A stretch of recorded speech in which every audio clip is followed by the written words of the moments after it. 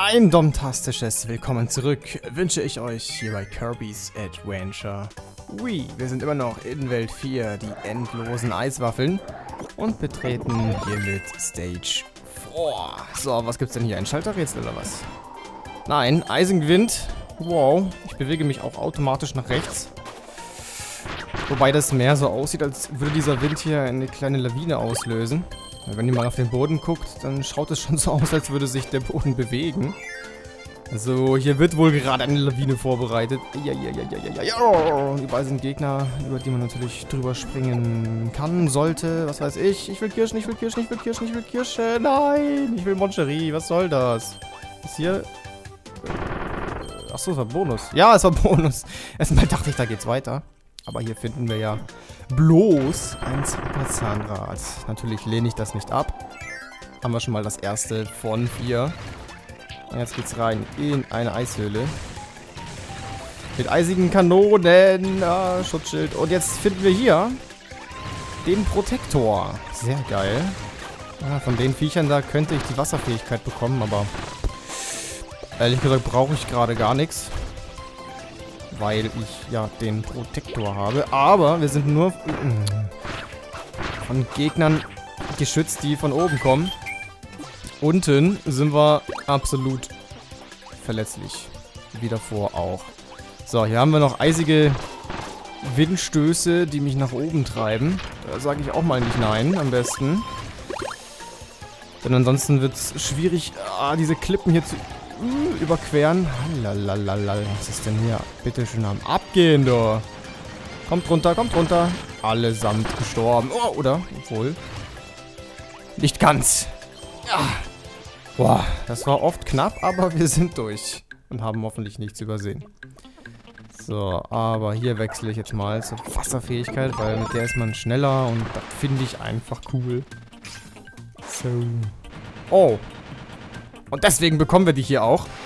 Ihr seht ja selbst schon, da ist ein Rennen gegen einen kleinen Affen mit Schlüssel. Und logischerweise brauchen wir den Schlüssel. Schneller, schneller, schneller, schneller, schneller. Surfen. Nochmal surfen. Und nochmal. Gott sei Dank sind wir während des Surfens unverwundbar. Ja, mach doch, mach doch, mach doch. Boah. So, bis hierhin und nicht weiter, mein Freund. Dankeschön. So. Yay. Hat geklappt. So. Ja, hätten wir nicht gewechselt zur Wasserfähigkeit, glaube ich, wäre es sehr, sehr knapp geworden, diesen Affen da zu erreichen. Und da kriegen wir wieder die Schneeball-Ultra-Fähigkeit. Ja, ich dachte mir schon, die muss doch in der Eiswelt auch noch drankommen. Das gibt's doch nicht. Und da ist sie. Wir kennen sie bereits bestens. Damit können wir eigentlich so ziemlich alles den Erdboden gleich machen. Jeglicher Gegner ist kein Hindernis und auch keine Eiswände oder sonstigen Blöcke interessiert mich in irgendeiner Art und Weise. So, und da uns noch zwei Zauberzahnräder fehlen und wir eine Ultrafähigkeit bekommen haben, kann man sich eigentlich sicher sein, dass früher oder später auch ein Dimensionstor auftauchen wird. Also los, Kirby. Such danach. Oh, Schneemann. So wie später in äh, Triple Deluxe, wo man diese Schneeball, also Schneemannköpfe zu den Körpern bringen musste. Habe ich ja in einem Preview und im Let's Play gezeigt. Ach, und da ist es auch schon. Das Tor. Na dann. Los geht's. Oh nein, von oben. Das finde ich fies. Das finde ich sehr fies. Von oben ist das Schlimmste. Außer irgendwann tritt der Fall ein, dass... Oh, dass das auch mal von unten kommt. Oh, crap. Äh, mit dem Tritt bin ich auch nochmal ganz schnell. Also sollte es eng werden, dann sollte man den Tritt einsetzen. Und ich glaube, ich merke schon, dass Stacheln in äh, dieser Zwischendimension eine große Rolle spielen werden. Boah, aber so richtig scheiße. Äh, na, mach schon. Also die schnellsten sind wir nicht gerade, aber es ist ja auch ultra fies. Oh nein, ich hätte den Block einsaugen sollen, weil dann hätte ich nämlich, hätte ich nämlich Ah gut, das kann ich auch mit der Luft machen, gut. Dann hätte ich nämlich diese Eiszapfen zerstören können, ohne dass sie mich potenziell, potenziell verletzen können. Komm schon, beweg dich, beweg dich, beweg dich. Und runter, runter, runter, runter, runter. Hier auch nochmal bitte, ganz schnell. Ja. Wir haben keine Zeit. Boah, was ist... Aua, was ist hier denn los? Das Gute an der Trittfähigkeit... Äh, das heißt Fähigkeit, das ist ein ganz, ganz normaler Move. Das Gute am Tritt ist, dass man sich dabei nur selten verletzen kann. Also selbst wenn ich diese Stacheln da berühre mit meinem Fuß, passiert mir nichts. Oh, jetzt wird's ganz schön eng. Wow! What the fuck? Das war gerade mega knapp. Wow, okay. Die Bombenfähigkeit. Ich habe sie noch nie gezeigt, deswegen nehme ich sie jetzt mal für den Kampf. Also wir können da eine Bombe auspacken und sie werfen. Wir können mehrere Bomben werfen. Wir können die als Bowlingkugel benutzen. Moment, geht das nochmal? Unten, ne? Nicht? Ach so, okay, das ist, äh, das ist, wenn man rennt. Alles klar. Aber, ja, ich bin normalerweise kein Fan von äh, dieser Fähigkeit, aber ich kann mir vorstellen, bei dem Bosskampf ist die ganz schön gut, weil wir da eben verdammt schnell attackieren können mit vielen, vielen Bomben. Oh ja, schaut mal an, wie der zugerichtet wird hier. Lol. So, ich könnte ihn eigentlich schon besiegen, bevor er seine Fähigkeit wechselt. Seinen Angriff habe ich geblockt, aber nur, aber nur einmal. Beim zweiten Mal habe ich mich dummerweise treffen lassen. Und jetzt würde ich sagen, beende ich dein Dasein. Ja, geil. Also auch diese potenziell etwas schwächere und eintönigere Fähigkeit kann reinhauen. Gerade gegen Bossgegner. Aber ansonsten ist halt nicht so zu empfehlen, weil es dann doch ein wenig ungenau ist. Und man kann halt auch bloß die Bomben werfen, ne? Sonst nix. Ziel, ne? Habe ich alles schon gesagt. Körbiknaller. Bombe bereit und dann nichts tun. Ja, und super. Spurten plus 1. 1 neben Gegner. Unten 1. Ja, das ist eigentlich alles nur was mit Bomben. Und der Körbiknaller ist das. Passiert da noch was? Jetzt. Ja, okay. Ich habe mich dabei zwar nicht verletzt, aber was zum Teufel soll das bringen? Oder hätte ich die Bombe noch ablegen müssen? Ach, sei es drum. Level haben wir geschafft. Und damit geht's dann auch schon weiter. Zum Boss, oder? Nicht? Hä? Und wir haben Testraum 3 geöffnet, okay. Tatsächlich kein Boss. Die Welten werden länger. Ja, okay, gut, gut, gut, gut, gut. Das war in Triple Deluxe auch so. Äh, ich glaube ab Welt 3 oder so. Meinetwegen. Oh, wird das jetzt hier so ein, so ein Labyrinth? Schaut so aus. Oh, super. Ich mag keine Labyrinthe. Das dauert so lang, meistens. Oh mein Gott. So, ein Schlüssel. Schön. Das hier ist eine Bonustür. Ganz interessant. Ja, dann nehmen wir den Schlüssel doch mal mit. Aber halt, halt, halt. Was mache ich denn? Wir wechseln die Fähigkeit, Freunde. Weg damit. Ach ja, wenn man mehrere Dinge einsaugt, also jetzt mal die, diesen Gegner und den Block, dann kriegt man trotzdem immer die Fähigkeit. Also ihr müsst dann nicht überlegen, oh, jetzt habe ich zwei Sachen im Mund, äh, was soll ich machen? Wir sind richtig gegangen. Cool. Dann hätte den Schlüssel nämlich so oder so gebraucht. Also seid euch sicher, ihr kriegt dann immer die Fähigkeit. Alles gut. Wenn man allerdings zwei verschiedene Gegner einsaugt, ich glaube, dann kommt es drauf an, welche man zuerst eingesaugt hat. Ja. Also das ist ein komischer Level. Bis jetzt irgendwie, muss ich sagen. Hier ist der Speer. Dann wechsle ich mal. Weil wie gesagt, äh, man sollte immer das annehmen, was das Spiel einem vorgibt. Nicht nur bei den Bossgegnern. Ähm, weil gerade beim Speer kann man ja immer mal wieder... Ähm... Oh nein, das war Fail. Scheiße. Das Teil hätte ich, hätte ich gebraucht, stimmt's? Ja, bestimmt. Aber das kommt doch wieder. Richtig? Ja, danke. Beeilung, Beeilung, Beeilung! Nein, nein, nein, nein! Oh, das war doch klar. Mann, ich bin echt zu blöde gerade. Ja, ähm, was ich sagen wollte war, beim Speer gibt es ja auch immer mal wieder Schalter, die man eben nur mit dem Speer erreichen kann. Und für den Fall, dass das auch jetzt wieder so ist, komme ich da auch heute noch irgendwann hoch? Mein Gott, jetzt leck mich doch. Dann mache ich halt den Scheiß ohne blöde Kanone weiter. Ich habe jetzt keinen Bock mehr. Und wehe, ich brauche das Teil. Dann werde ich sauer. ist das für ein Typ? Ach so, der Magie-Arsch. Oh crap, oh crap. Ich gehe schnell da rein.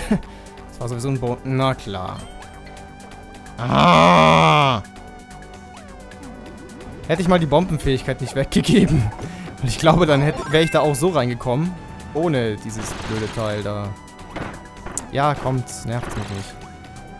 Das Problem ist ja, die Gegner tauchen eh gleich wieder auf. Deswegen brauche ich sie auch gar nicht besiegen. Wir müssen definitiv mit dem Scheißteil da, darunter in diese Bonustür.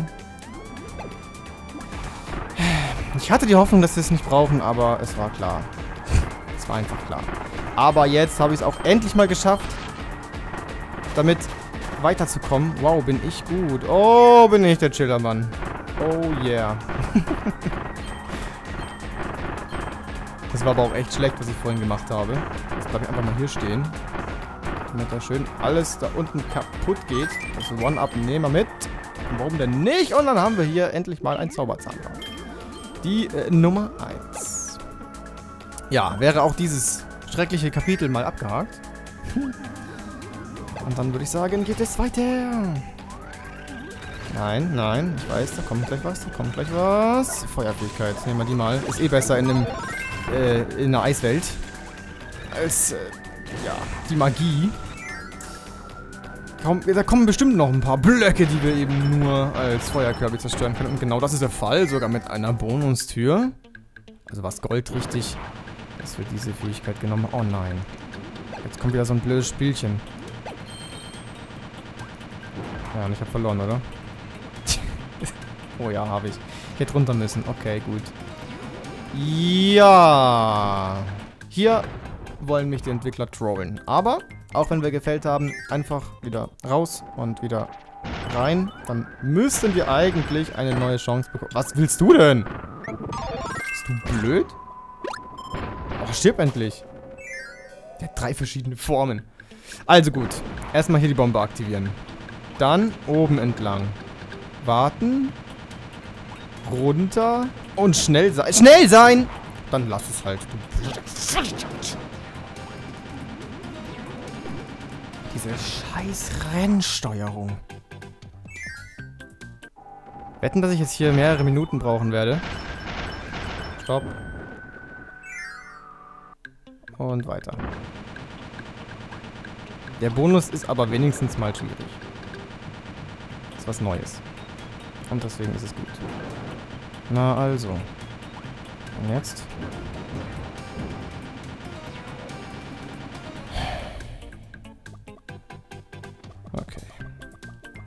Ich habe auch keine Ahnung, warum der jetzt äh, diese, diesen Schlag eingesetzt hat.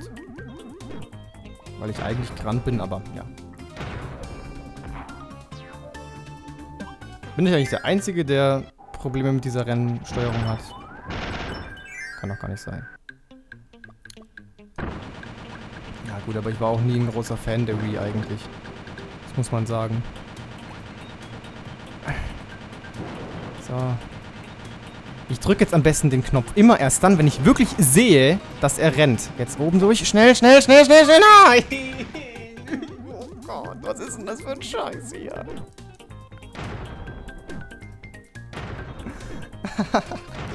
das ist aber auch lustig. Junge, wie soll man das so schnell machen? Vor allem, wenn man das blind spielt, hat man doch überhaupt keine Ahnung, wie das Ganze hier läuft. Im Prinzip muss man wissen, was in diesem Raum abgeht. Um sich hier nicht zu blamieren. Was war das für ein Bug? Habt ihr gesehen? Ich steckte da drin. Geil.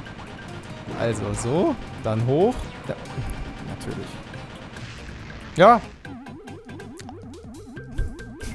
Nee, ich sag nichts mehr dazu. Nö. Ich verweigere die Aussage.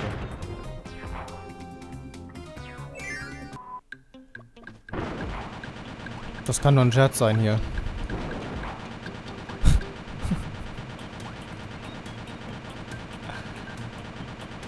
ist das geil.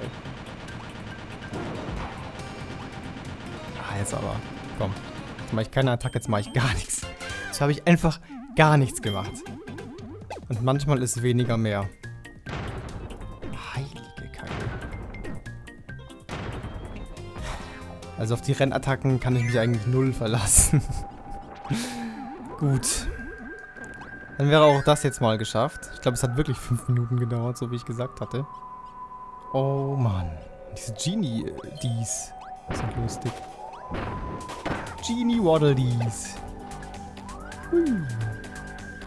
Warum sind hier überall Gegner, die aggro werden, wenn man einen Schlüssel trägt? Wetten, hier kommt gleich ein Schlüssel. Die kann man auch killen, oder? Ja. Und so ist es. Da ist ein Schlüssel. An die unteren beiden komme ich allerdings nicht ran. Deswegen habe ich einfach mal den oberen gekillt und hier renne ich halt schnell durch. Wird schon nichts passieren. Wow. Warte mal, warte, warte, warte. Und jetzt. Okay. Wow, es hat mal was richtig gut geklappt. Glaub's ja nicht. Und ein leckerer Muffin. Oh, oh, was ist hier los? Dunkel. Ist hier die dunkle Seite der Macht oder was? Aber wir haben eine Kerze dabei. Du bist ein Arsch. Du bist ein böser, böser Arsch. Wow. Ein schlecht gebauter Schneemann. Und was zum Essen. Ja, normalerweise verrenke ich mich jetzt für die Heil-Items nicht, aber ich war schon ein bisschen stark verletzt. Deshalb äh, habe ich mich mal dazu herabgelassen. Weiter, weiter, weiter. Warte, warte, warte, warte. Da können wir rein. Oh, cool. Wir können das ja sogar mit der Kerze kaputt machen. Also hätte ich die Feuerfähigkeit jetzt nicht dabei, dann könnte man da auch so rein. Nice to know. Ja, und hier haben wir wieder ein Spielchen. Das war jetzt schon eine gute Idee, dass ich die Feuer... Hä? Man kann das auch in die Hand nehmen? Hilft mir das? Weil ich da zu einem... Nein. Okay. Äh... Ich muss gestehen, ich habe null Ahnung, was ich jetzt hier hätte machen... Ach so! Oder? Nee. Ja, was hätte ich denn hier machen sollen? Okay. Nö. Keine Ahnung. Ich weiß nicht, wie das gegangen wäre, ohne sich zu verletzen. ich wirklich, keine Ahnung. Vielleicht hätte ich die Feuerfähigkeit nicht wegschmeißen sollen. Ähm ja, ich bin jetzt auch sehr schwer verletzt an das Zauberzahnrad gekommen und naja. Lieber habe ich so geholt als gar nicht, ne? Aber ein weiterer Treffer und ich könnte sterben.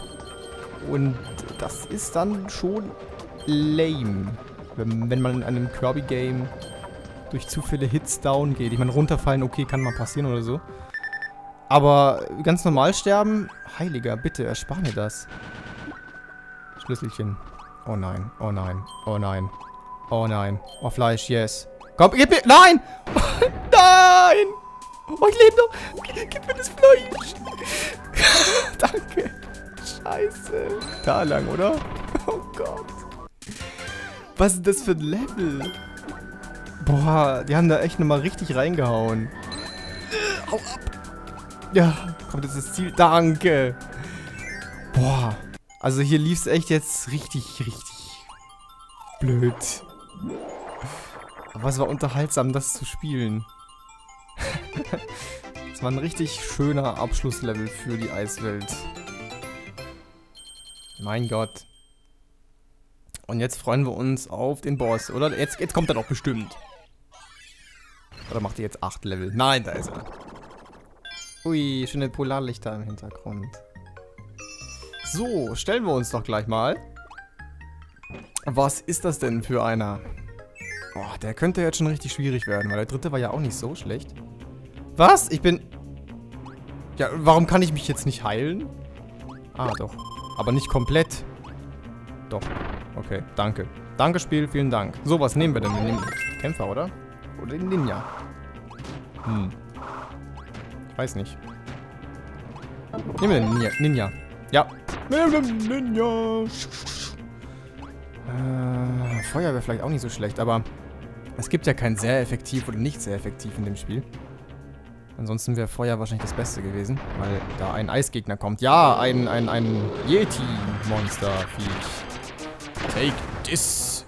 Oh, okay, das war blöd. Ich kann mich doch auch an die Wand klemmen, ne? Ja, kann ich, aber er kommt ganz, ganz dreist hier rüber zu mir. Und die Wurfsterne ziehen jetzt leider nicht so viel ab, wie ich mir erhofft hatte. Okay, was macht er denn da? Eine Eisenfaust-Attacke. Not bad. Leider kann ich, ähm, keine Attacke so nach oben. Ich kann nur die Pfeile werfen. Höchstens halt mit dem Schwert noch irgendwie. Oh Gott, was ist das? Ah. Ich kann den Stern auch nehmen? Cool. Dann sollte ich mal versuchen, ihn den Stern auf den Kopf zu donnern. Oh, weg da, weg da, weg da, weg da, weg da. Faust ist nämlich nicht ohne. Ah. Blocken und weg da. Okay, wir machen das, glaube ich, nicht so schlecht bislang. Habe ich denn den Stern genommen? Ich wollte es gerade probieren, aber es geht irgendwie nicht mehr.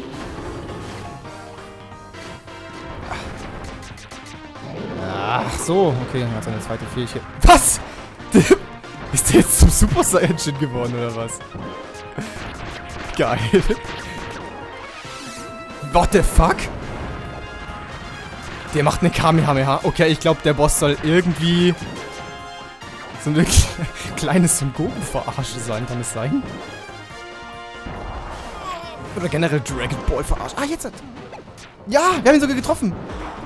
Okay, das geht, indem man auf den Stern zurennt und dann 1 drückt. Ich glaube, das ist diese Attacke, die man macht, wenn man neben, den, äh, neben einem Gegner steht. Wow, wir haben den richtig geil gekillt. Aber ich fand den Boss mega cool. Nicht nur, weil er sich in den Super Saiyajin verwandeln kann und so eine Art Kamehameha abfeuert. Der ist auch sehr wendig gewesen und es war nicht einfach, ihn mit den Wurfpfeilen ständig zu treffen. Aber ich glaube, äh, die Leistung war besser als der Rest des Parts. Lol. Verarschen die hier einfach mal Dragon Ball. Ich meine, nur die Haare, okay, kann ja Zufall sein. Aber wenn er schon die Hand so hält, wie bei einer Kamehameha, das ist dann schon ein eindeutiges Zeichen. Och ja, der Part hat doch bestimmt ein Däumchen verdient. Allein schon wegen dem Boss. Und den unterhaltsamen, skilllosen Passagen. Beim nächsten Mal kommen wir dann in die vermeintlich letzte Welt. Aber da sollte man bei Kirby Games eigentlich nie dran glauben. Nun ja, wir werden sehen. Du hast es geschafft, Kirby. Mein Sternenkreuzer hat jetzt wieder ein Emblem. Endlich. Nun fehlt nur noch ein einziges Teil. Vergiss nicht, wenn die Lore wieder in Schuss ist, darfst du mit in meine Welt fliegen. Diese Bruchlandung hat mir wirklich einiges an Ärger bereitet, aber irgendwie war es das alles wert. Immerhin habe ich dadurch dich getroffen. Noch einmal vielen Dank für deine Hilfe. Du bist echt toll. Oh, wie lieb.